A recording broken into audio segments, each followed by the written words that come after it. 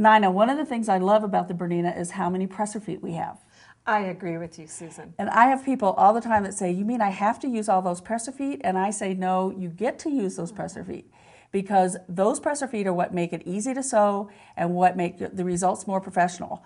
If you're ever having trouble with the sewing technique, take a look at the presser foot and see if there's a different one that will handle the job better. Well, it's like this belting on this purse, Susan. I always have a hard time keeping that top stitching straight. It just wants to wobble underneath my foot. Well, I have the perfect foot for that, and it's not one that you would guess because it's called the piping foot number 38. Mm-hmm. And it does make piping. It does a great job at making little mini piping but I use it for any time I have an uneven sewing surface. If I have a thick and a thin where the foot would normally wobble, I go to my foot 38 because it has a thick edge and a thin edge and it will even out that surface. So even tape like this, putting, this decorative tape. Yes, putting heavy you trims. yes, foot. yes, and I know that you have a favorite name for this. Well, I call it the Velcro foot. it does an excellent job at sewing Velcro, and that's what we're going to show you today. But it, it works anytime that you have a thick side and a thin side that you need to, to level out. So we're going to put the foot on the machine. Now, one thing that you do have to remember is that this is a straight stitch only foot. You'll only forget that one time because you will break your needle if you don't. Remember that it is straight stitch center needle position.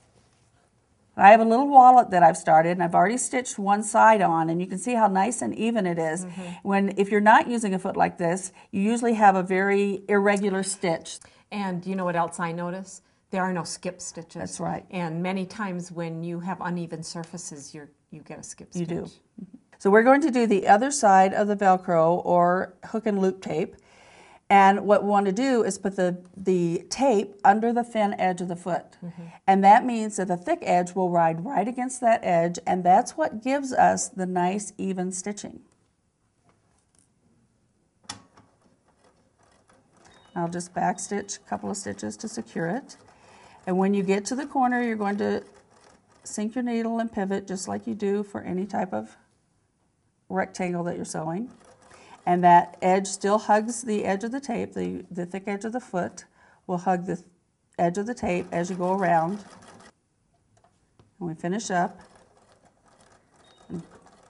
do a back stitch, and then I have one more thing to show you using this foot. What's because, that? Well, I'm going to finish the wallet and I put turn it up, oh. and I've already turned and faced this so that all the edges are finished.